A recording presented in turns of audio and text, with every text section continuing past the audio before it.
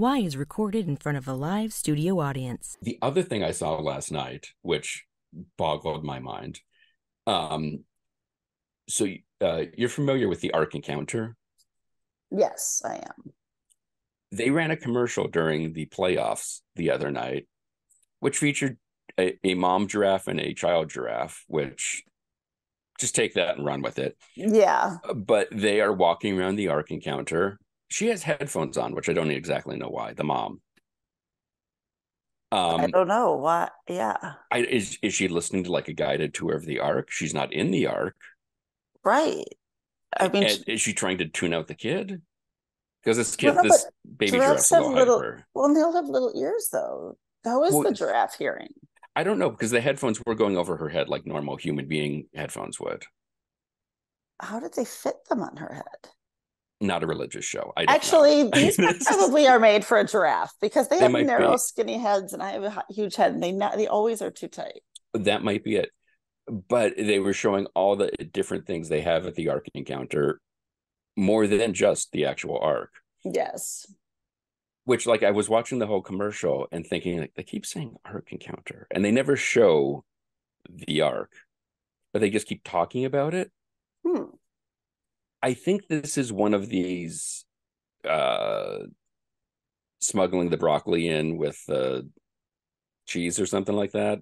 You know? Ah, yeah. Where suddenly you're like, all right, I want to go see all this stuff this baby giraffe is excited by. Yes, of course. that Venn diagram for a of- yeah, baby de- giraffe. Yes. Exactly. Demographically speaking, we are practically Mhm. what are we if not baby giraffes? Yeah. I mean, I think we might be baby giraffes. I don't And know. so- we might be hyenas. Mm, baby hyenas or just Oh regular yeah. adults? No, we have to be baby. Baby anything because it's much cuter. Yeah.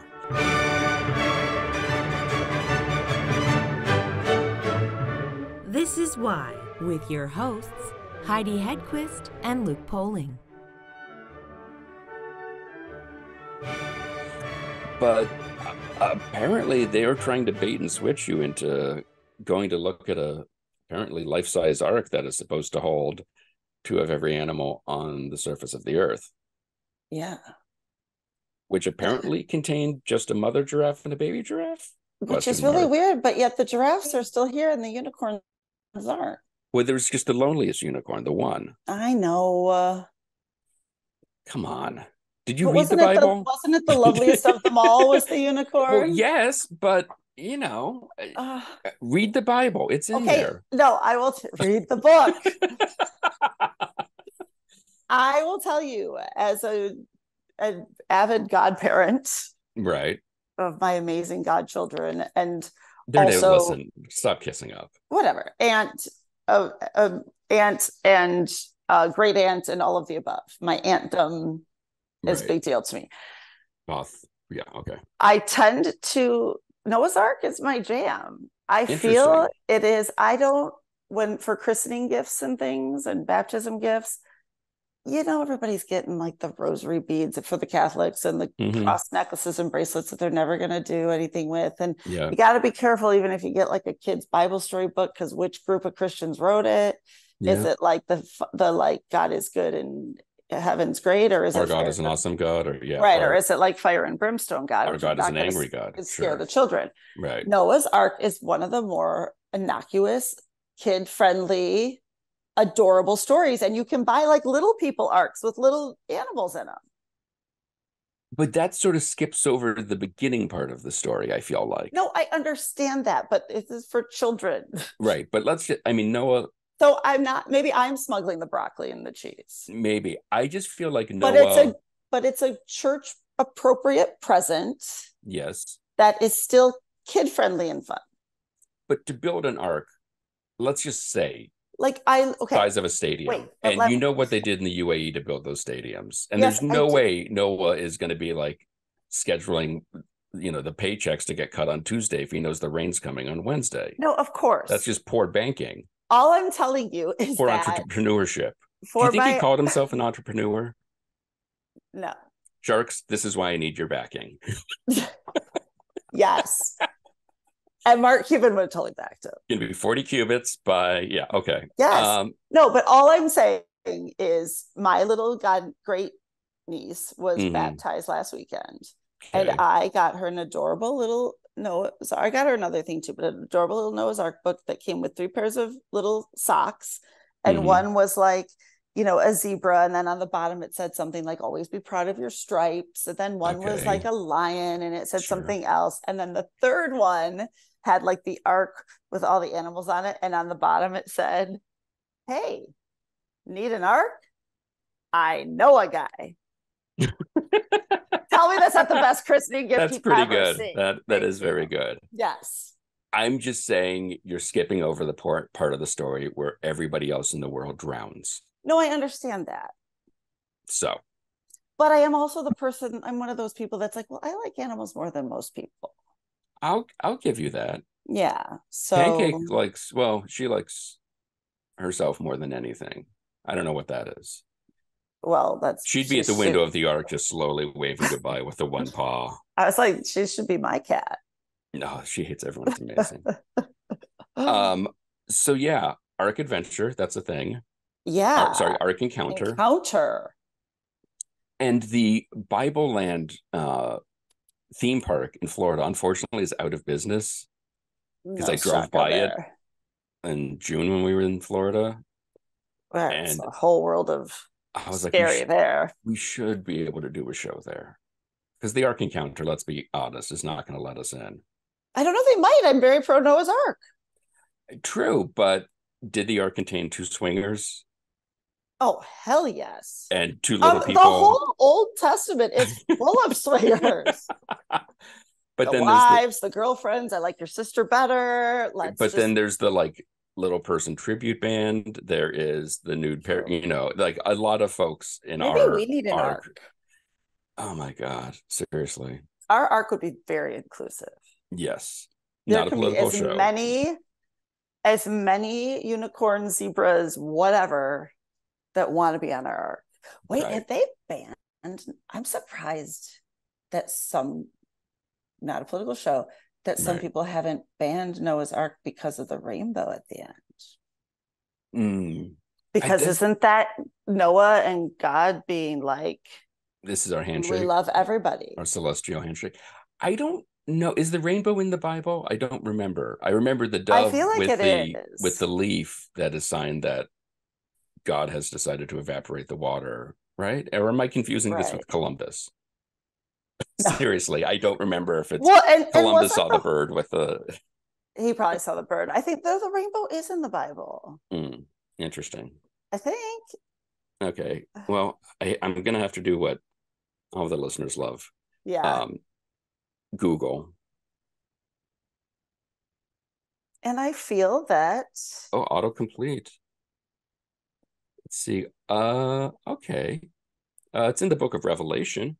Oh well, we don't like that book. I hate that After these things I looked, and behold, a door opened in heaven, and a rainbow was around the throne.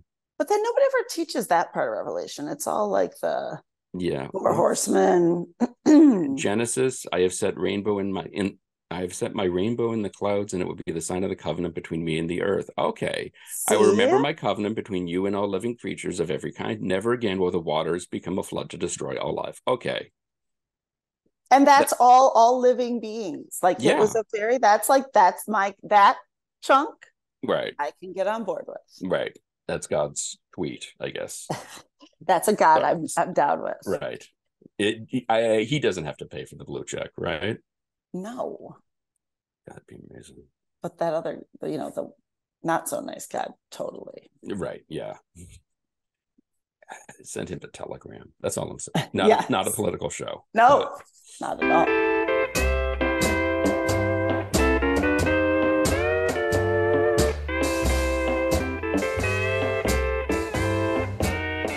I go out walking. You just started working with the Country Hall Country Music Hall of Fame, correct? Yeah, yeah, just just got here. So uh, how how are you finding Nashville? You've obviously been there before. And what exactly are you doing with the the hall? They they call it like a um uh it's it's a writer editor. So Mhm. it's a lot of the same things I've always done, uh, just with a subject I, I don't know as well as I know some other things. hmm Uh, yeah, it's so um, that's that's got to be an interesting departure. It is. It's um. It's never boring. It's a lot of work. It's a very nine to five job. Just getting set up here. It's Mhm. gonna be Okay. great, guys. It's gonna be, gonna be great. You're perfect. Don't worry. Yeah, it's it's kind of a curating thing too, which is awesome and nothing I've done before. So uh, I'm, I'm sorry, it's it's part curating, it's part um, writing writing things, uh, whether it's um, uh, wall panels or press material or books for them, and uh, and it's putting on programs. I, I put on a program last weekend uh, having to do with John Prine, and and so what you know, gosh, that's terrible. Uh, yeah, what a terrible job. Yeah. We need to help you. This is awful. I mean, that's that's a that's a dream come true. But I would be wildly intimidated. I will I will say this. I would be wildly intimidated by the Country Music Hall of Fame because it is not an area of music that I'm really adept in. I'd be fascinated, Yeah. but I'd be terrified. Well, I I I'm somewhat the same way. I, I feel like um I know a little bit about a lot of parts of it, but I don't know, especially about what's going on right now. I just haven't. It's definitely. I, I mean, the history I'm fairly okay on. I think, but um, who's on the charts right now is is, is kind of not so good in my head. Um, but they don't, you know, and they know that, and they knew that, and they're. You know, they still went ahead with the hire, and I, I didn't talk them out of it. no, no, we could just go full steam ahead. and and any hall, but I feel like in particular the country music hall, those archives are impressive. yes. Yes. I, I toured there once. How how often do you just wait till everyone leaves the room and run around touching everything? well, the, the unfortunate part is I do that when people are there, so Oh, okay, they don't really like it very much. Yeah, No, it, it's you're you're totally right. Yeah, they have they, you know, like when I lived in L.A., there's the Grammy Museum. They Mhm. don't have a collection or an archive. They just don't. They don't. You know, the Rock and Roll Hall of Fame. There's a there's an archive off site that's really great at Case Western, um, but it's a little distinct.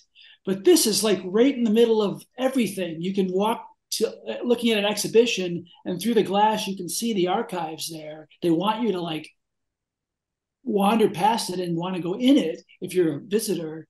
So yeah, that part is great. And they have this amazing collection that they've been working on for decades.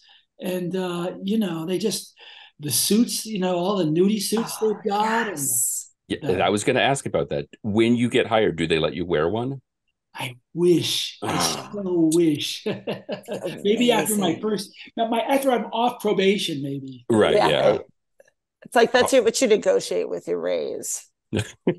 or instead of a raise. I wear the Yeah. Gram Parsons suit for Yes. at least In once. s- Yeah. per- What was the thing when you first got there that was the thing you were most excited to find or touch or see or read about? Well, you know, um, Webb Pierce, who was this honky tonk singer, um, uh, he has this famous or had this famous uh, gorgeous convertible car with steer horns on the hood and in, in, inlaid with silver dollars all inside where the um, transmission is. There's a giant handcrafted saddle, leather saddle. There's um, the the doors um, open or close with uh, little silver pistols. Amazing. it's just demented, and it's always out there. And yeah, it's it's it's beautiful and crazy. I love And- it. Given your other projects you've worked on in the past, uh, I'm going to guess probably James Brown and country music don't really go in that Venn diagram. But Chuck Berry, I could see there being a little bit of some crossover there. Well, uh, two things. You, you're right. There's a lot more musical crossover for sure with, with Chuck, definitely. Um, and uh, in lots of ways, well, in fact, early on with Chuck, um, Maybellene was started as a as a Western swing song. It was a Bob Wills and and, and uh, a fiddle tune that uh, Chuck picked up called. It was called Ida Red. Uh, and Chuck turned that tune uh, into re- reworked it, put new words over it, and turned it into Maybellene. And it still had that kind of that uh, dance hall beat. I think that uh, was smart for him, and that he it got him a big audience from the start. And they didn't know many people who loved that record at first thought this must be a white guy, and so that was a that's a story that a lot of rock and roll artists um, made use of uh, early in early on when rock was just coming into its own. But but James Brown, um, I actually did some research in in that archive we were talking about. Um, mm. uh, about James Brown, there's like a, a scene in his life where, um, for whatever reason, Porter Wagoner, who was a really, you know, a great country star, sure. Um, he had a TV show with Dolly Parton, mm-hmm. and um, and kind of a cheesy, uh, particularly he, he, wore the cheesiest of the jackets, and he didn't. He made a disco record before other country artists did. He was just smarter and um, cheesier than a lot of other people, I think but not because of the cheese factor, because I think he liked James Brown's music. He got really he was he was really in James Brown's corner, and he fought to have James Brown perform at the Grand Ole Opry, uh, and wow. at a time when they barely even let drums on the stage at the Grand Ole Opry, suddenly they had a bunch of drums. Yeah. uh, and so, yeah, that was an interesting uh, little chapter of James's life. But you're right; it's it's not it's a it's a big my brain is all segmented off in different corners and stuff. I'm just thinking about that conversation between james brown and porter wagoner. I would love to be there for that lunch. That's got to oh, be yeah mr please please please with mr i will always love you. I mean come on. There's a lot. A lot of emotion in that conversation. Yeah. how do you find these subjects? You know because to, to write a book on anybody is to devote a huge chunk of time to their their work their life their oeuvre.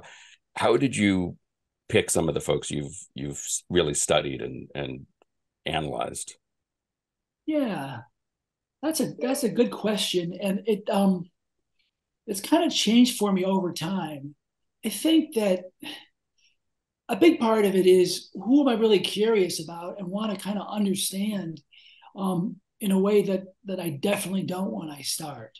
Like mm. that's definitely the case. Well, for both Chuck and for James, but maybe even most of all, James.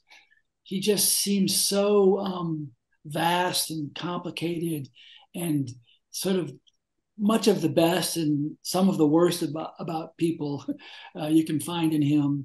And so I just started. Yeah, I just wanted to I knew I wouldn't get tired or even tired of listening to his music and thinking about it for five years or so. And I knew I wouldn't um, fully understand him in that time. So, it, what's good about this gig, it doesn't always, sometimes it pays well. Most of the time, it doesn't pay enough. But uh, you get to ask people a lot of questions that I'm not exactly a shy person, but I'm I'm a little shy and I'm a little insecure for sure. And I feel like I can put the mask on and ask questions um, about their life or the life of their their cousin James or their uncle Chuck um, that I would never ask them if I was having dinner with those people or you know on the bus with them or something. I just they wouldn't answer it and I wouldn't ask it. But somehow when you're a writer writing something, sometimes um, people want to help you out and want to have a conversation. And so that it's as I say, sometimes the money's good, sometimes it's not, but it's always usually feels better than work. sometimes it's harder than work, but sometimes it's better than work. that makes total sense. And it makes sense too that people and even with what we do, people tend to start telling us things that because it, it's also a platform for their voice too, right? That's an opportunity for their story to be told as the cousin person by proxy. Yeah sometimes people have a, a story or three or whatever that they've been sitting on for years or maybe telling the same handful of people in their life mm-hmm. over and over and when a um you know some stranger from nashville comes and says uh i want to hear about chuck and you or robert frank and you or whoever um you know, maybe they've been they've been really waiting for someone to tell it with a, with with a notebook out. Mhm. But it also, to your credit, though, it also has to be the right person because you know there are a gazillion writers that have tried just taking these two gentlemen, or not so gentlemen, but brilliant men, um, taking their stories alone. You know, people have been pounding down doors. So for you to be able to get those conversations and create these books, which are so revered and loved and wonderful, is a really huge credit to you.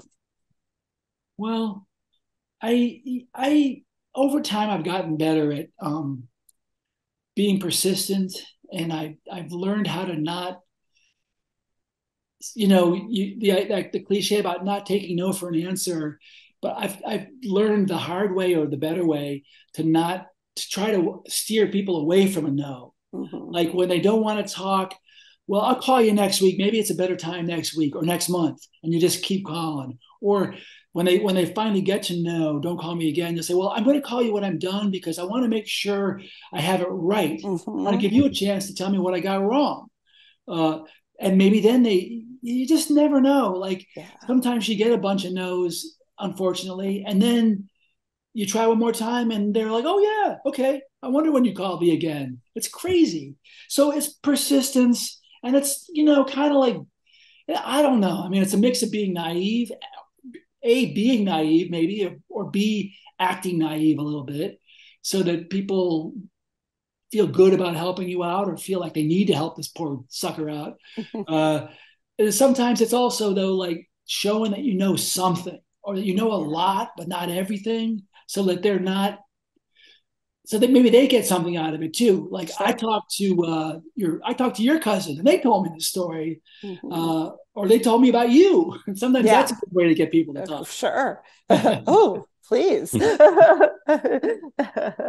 it's Well, and you know, uh, I I know less about Robert Frank, but uh, I know with um, with Chuck Berry and James Brown, eh, they were. and I think we've sort of uh, alluded to it, and it's come up, you know, talking around it a little bit.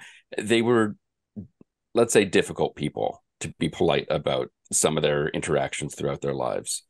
Um, how do you square that with the music? How do you because that's obviously something you need to touch on and it's certainly you don't want to make it sound like everything they ever did was wonderful but there are some major I, guess drawbacks to telling some of these stories and and especially i'm assuming when you're dealing with family trying to get to figure out do they want to tell the truth or do they want to tell the sort of more ha- hagiography chuck was just a really great guy all the time Yeah. No, that's a key question. Um, you know, I started both those books trying to understand, th- thinking that I could go through this process and understand. So you know, you you you think, well, there's this great music and this inspiring human being in both cases, and there's um this terrible behavior and meanness to people and sometimes criminal stuff that uh, on the other hand and yeah the I, I feel like with james brown i could sort of put the two on a plane for, for Mhm. various reasons and and and see an arc see a, all kinds of connections and with chuck i could never really maybe square is the word or just make all a lot of sense of it though at the end of the day and i just had to decide well i ended up thinking with chuck that um you know and it's the time we live in right it's the time when everyone is re-examining or should be or many people are re-examining uh, what they listen to and like what the movies they what the what did that person who made that wonderful movie did they really do that with a know, right. teenager or whatever. Um, we're all doing it. We're all thinking about it. And um, where am I going with this? I, I feel like uh, I, I had an illusion that I could land on this. On I could stick my landing. and the end of the day, I could not do that with Chuck.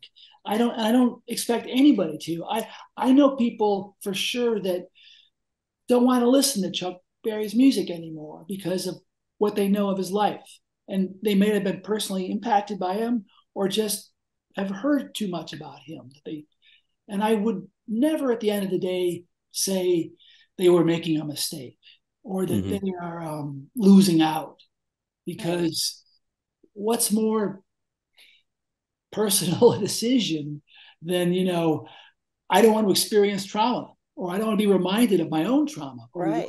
that, that sort of thing so you know for myself it was an easier choice um, to some degree you know I, I i feel like my life is better for listening and for having that connection to to, to that art.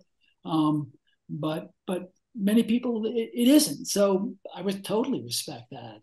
Well it's so hard. It's such a hard decision. And i love the way you phrased it just because can you separate the art from the artist? And i freely admit i discriminate in those things. There are certain people that are not have done some horrible things that i will still enjoy their art there are other people that I'm like, no, I'm not. No, there's terrible person. But it's more because I don't like it or it didn't.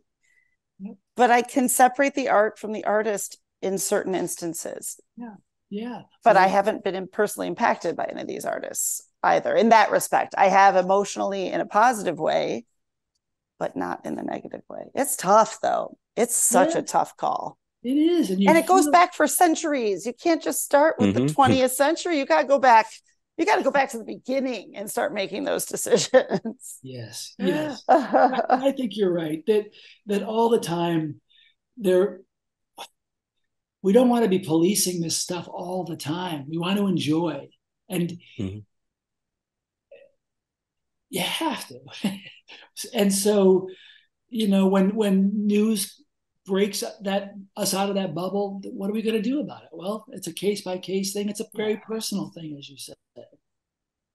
Yeah, it's. And how do you square my dingaling with, say, you never can tell? or maybe. Well, I, yes, you're asking a tough question. yes, Luke always brings the the hardcore journalism. I mean, I have a very small part of my heart, but something from my dingaling where I'm like, okay, I get it. I see I what he was doing. Everybody well, has a small part of their heart for my They should. they should. You know, I, I think when when they made that movie Hail Hail Rock and Roll, mm-hmm. and uh, which is a wonderful movie in all kinds of ways, yeah. uh, and a great, frustrating, maddening, I think accurate picture of Chuck uh, on and off the stage. Uh, I think that and Keith uh, Keith Richards was was sort of the musical director point person in lots of ways for that. I, I'm sure his job number one was to, to was to fight Chuck to the bone to not put my dingaling in that movie. really? Which was probably a very difficult argument for Keith. I feel like Keith deep down kind of probably wanted it in there. Oh, he totally uh, would. he totally wanted oh. it in there. but knew it shouldn't be in there, but wanted it in, but knew it shouldn't. yeah, I, I, I think that that song. I'll I'll say this. I've read people make a case that I I could totally see for um for it being uh, a certain for a moment a, a freeing, liberating, um, you know, let's all play like we're children. Yes, I I explore. actually yeah. I actually can go with that because yeah. I remember as a kid that song being like, this is hilarious. but then you kind of get like, but you're like, do they know what this could be? Like, it's just funny, right? That little kid playground figuring stuff out. Yeah. That can also lead you to then the rest of the music. Yeah, well, it can lead you to adulthood too. Right, they all of the above. Yeah. rest yeah. of the music in all senses of the word. yeah, yeah. It's yeah. But as a song, as a piece of music, it it actually has a really interesting history and a set of antecedents that I, I wrote about. But but I don't. It, it just doesn't live as a, as a piece of music. I don't know anybody that really thinks I can't wait to hear that tune again. Except, yeah, I'll, I'll show myself out. Did you get a chance to meet any of these three gentlemen at some point in their life because they have all passed. I believe Robert Frank a couple Yeah. years ago, correct? Yeah. I um I I I um one thing that drew me to Robert Frank was I thought I'm going to write about a living person now, e- even though um you know publishers are especially when they're not going to they're not going to um completely cooperate. Publishers are going to uh, have a hard time because they're worried about their profit margin and one one suit, let alone three or four, um, is there is is is is that's all the money they they spend on the book. So um, so they're they're constantly encouraging writers, often I think, to wait until they die. You know, which Hmm. it's not a crazy thing to encourage, but it's also very flawed thinking in lots of ways. And I thought, well, I'm going to try to see what happens with this living subject for for change. And um, and uh, I he he never he, I reached out a million different ways and he never responded. He was telling people it was okay for them. They would check with him. This guy's calling me. He wants to talk about when I when we went on the road together or whatever. And uh, and he would tell him it was okay to talk to me. But uh, finally, I knew he was going to be, and I would go to his door and knock on it and ring him up and stuff. And the crazy thing for somebody who didn't want to talk to people, he was in the New York City phone book for decades. Uh, his address, everything. Always the way. Always. Always the way. hiding plain sight. But I, I knew he was going to make an appearance, and and there was an exhibition at NYU, uh, and so I was living in Cincinnati. I got on a plane and um, flew to New York and and saw the he talked to the crowd. And while the audience is still there and while there were other speakers i think to come the side he he he, he talks a little bit. He thanks everybody for being there. The side door like pops open next to him and uh, and he just goes walks out and walks down the street and it was like wow i'm going i so i chased him i chased chased robert frank down the street and you know Amazing. grabbed him by the arm and I did the one thing that it's a good rule to not do this with most people that in this situation, but definitely with Robert Frank, who has a hard time hearing praise or had a hard time feeling the love and feeling the praise. And anyway, I, the first thing out of my mouth was you know, what how much I loved his work, and Mhm. that kind of sealed my fate probably. But uh, I said, you know, listen, I just want you to know that guy that's been bothering you and calling you and leaving notes in your mailbox and t- that's me. So I just wanted you to see me and me to see you. And uh, and, I, and he's walking, he's not stopping, and I'm walking with him. And and he says, I, I said, uh, you know, I've, I've gone to to Switzerland. I've seen the house where you grew up. And he said, you've been to Switzerland. Say hello to the Alps. And he spun on his heels and disappeared. I mean, that's wonderful, though. That's not what you wanted, but it's Gave still me great. something to say. He gave me something to Yes. say. Yeah. Please, And I've been that- I've been living for years on the fact that I ran into Dave into David Lee Roth in Okay. Birmingham a couple years ago Uh-huh. and walked this you know old Woodward and Maple eating ice cream from Cold Stone Creamery with him and he said hello friend to me and the three walks to where Jacobson's used to be that I still I still it was his birthday yesterday and I told Luke we had to get him an ice cream cake Oh. so the, a weird little interaction like that, although very different because mine was just random. yeah. You can go for years for just some random phrase someone throws at you, like Yes. "Say hello to the Alps." It stays right up there. Yeah. Yes. Snapshot. yes. And how much of that was trying to convince him you weren't like an AJ Weberman going through his trash and trying to be like, no, I, I I understand there's a limit and I can be cool. I can hang. yeah. Yeah.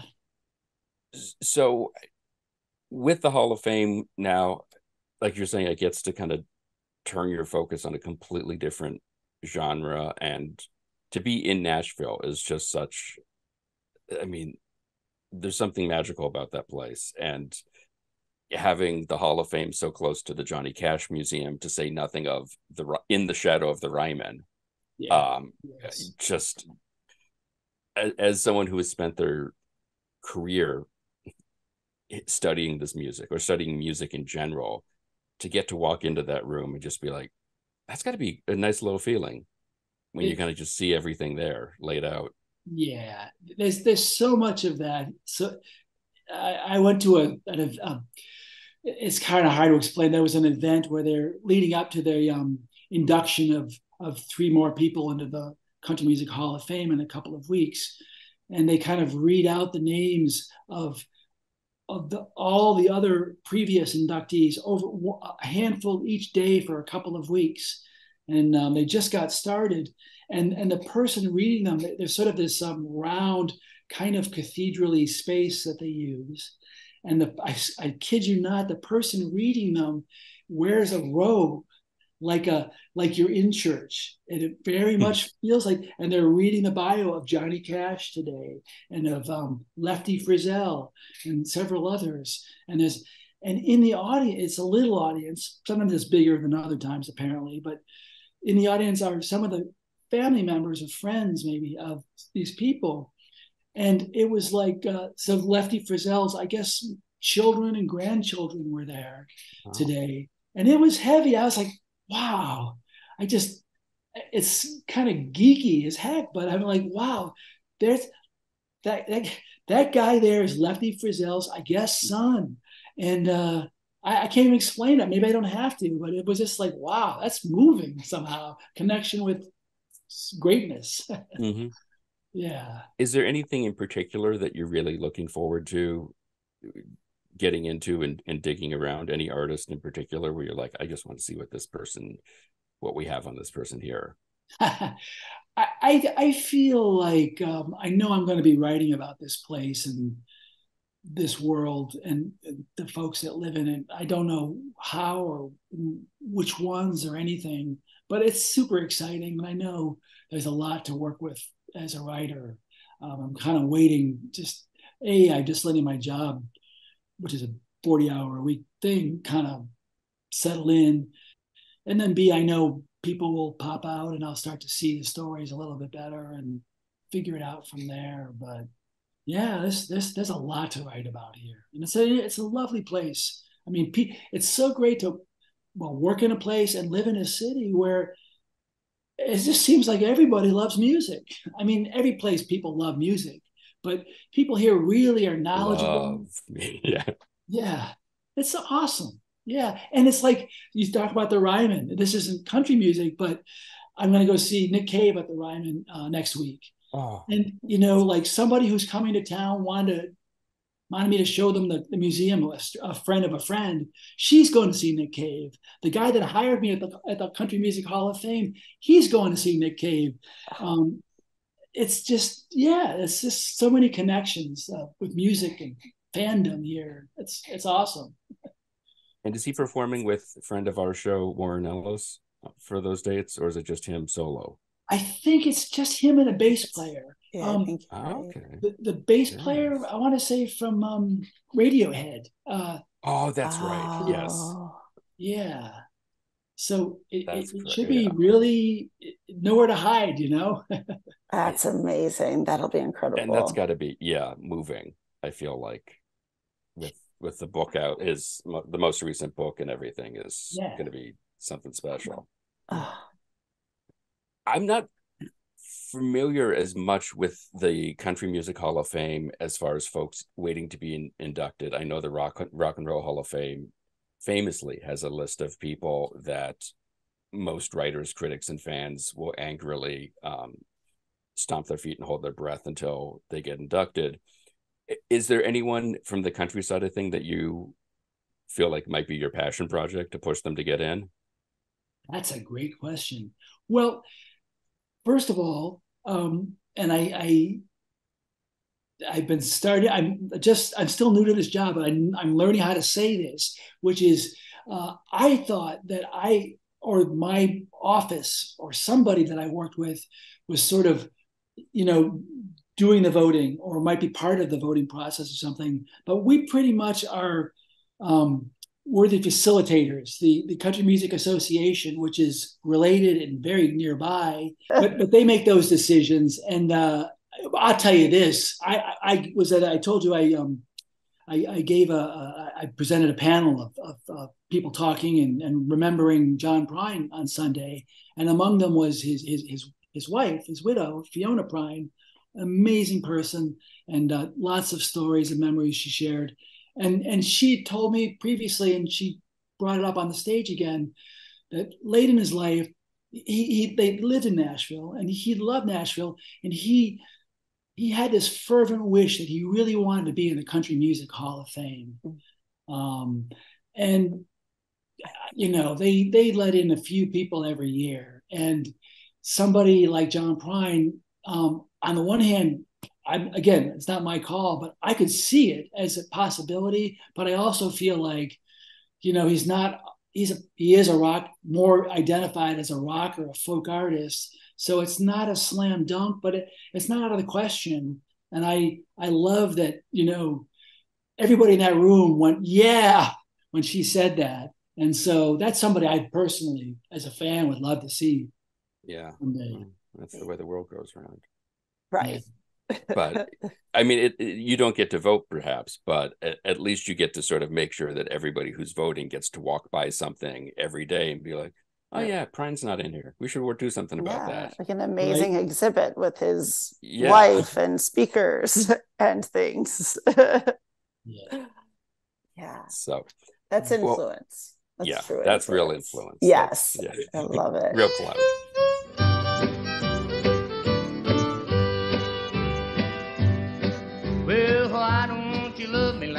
Why the podcast is produced by the Professional Production Company. Please be sure to rate and review us on Apple Podcasts because we're shallow and need constant validation. For more information, you can check out our website, whythepodcast.com. And like everyone else, we're on Facebook, Twitter, and Instagram. Today's show was recorded and produced by Heidi Hedquist and myself from our world headquarters located on the second floor of the professional office building, centrally located downtown. Our reluctant executive producers are John Sauvé and Sandy Stone. Our willing producers are Rachel Allen and Randy Jeanette. Our intern is Zach Jackson. This one's for Philippe. Thanks for joining us. Flash, we're coming home.